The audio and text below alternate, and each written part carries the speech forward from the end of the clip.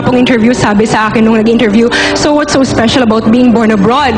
So, para sa akin, wala pong problema at alam ko po from the very beginning, alam po nila to. Ang totoo po talaga, pinanganak po ako sa, San- sa Doha, Qatar, pero ang nakalagay po sa birth certificate ko ay San Vicente Batoca Marines Sur. Nahawakan ko po ang aking birth certificate siguro mga high school na po ako nung mag-apply ako ng scholarship sa Francis Padre Papica Foundation noong ako ay mag-first year college. So, So you had nothing to do with the inconsistency. exactly. Were you